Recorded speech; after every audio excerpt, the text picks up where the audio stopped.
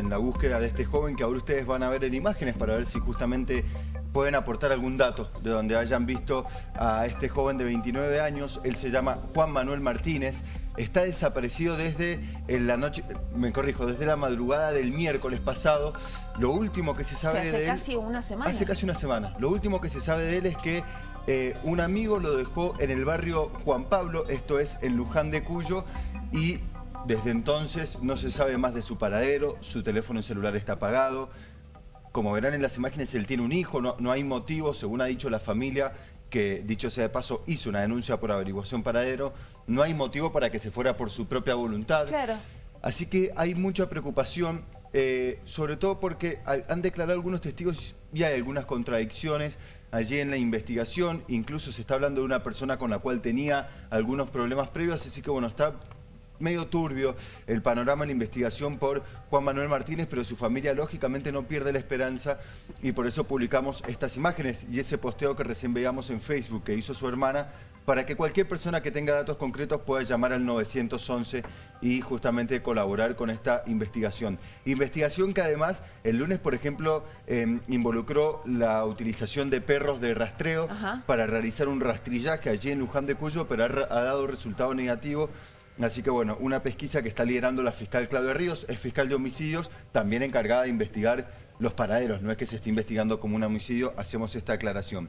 Además, em, este chico es muy conocido, y acá podemos trazar un muy conocido, relativamente conocido en el ámbito policial, y acá sí podemos trazar un paralelismo con lo que está pasando en Villa Gesell, porque él está imputado en una causa penal por un ataque en patota ocurrido en Chacras de Coria el 15 de septiembre de 2021, donde la víctima fue Moisés Pérez, un jugador de handball que fue agredido por al menos cinco personas. Eh, se viralizaron las imágenes del ataque, fue bastante fuerte, en patota. Que tomó repercusión además porque fue después de lo de Fernando Valsosa. exactamente, vos sabés que hasta los cinco detenidos que tuvo la causa en su momento, incluido Juan Manuel Martínez, tenían la misma imputación que la que tienen hoy los rugby, nada más que en este caso en grado de tentativa, porque no alcanzan a quitarle la vida a la víctima, pero también era homicidio agravado por el concurso premeditado de eh, dos o más personas. Moisés Pérez, que sufrió fracturas en la mandíbula, fracturas en el cráneo, estuvo internado en los primeros días en estado delicado, luego le pudo sobrellevar esta situación y hacer la recuperación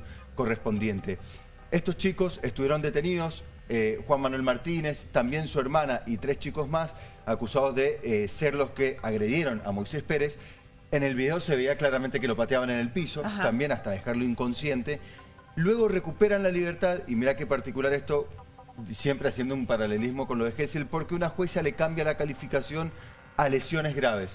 Es decir, entiende que fue una golpiza, pero no que hubo una, intención de quitarle la vida a Moisés Pérez, más allá de que lo patearon en el piso. Ahí vemos las distintas eh, interpretaciones que se puede hacer de hechos todo porque la víctima quedó viva, o sea, muy, muy mal, pero viva definitivamente. Sí, tal cual, pero de todas formas la Fiscalía entendía que más allá de que quedó viva, hubo una intención de asesinato, de quitarle la vida y la jueza dijo no, Hubo, intención de lastimarlo, no de quitarle la vida, lo cual cambia radicalmente la acusación. Lógicamente esto baja la posible condena que podrían recibir y por esto es que recuperan la libertad. Todavía están a la espera de que se realice un juicio por esta causa. Pero vamos a lo importante, se sigue buscando el paradero de Juan Manuel Martínez, así que reiteramos cualquier información, notificar a 911 y estaremos atentos aquí desde Hola Mendoza para darle seguimiento a esta búsqueda que tienen vilo las autoridades de Mendoza. Absolutamente, Seba, muchas gracias.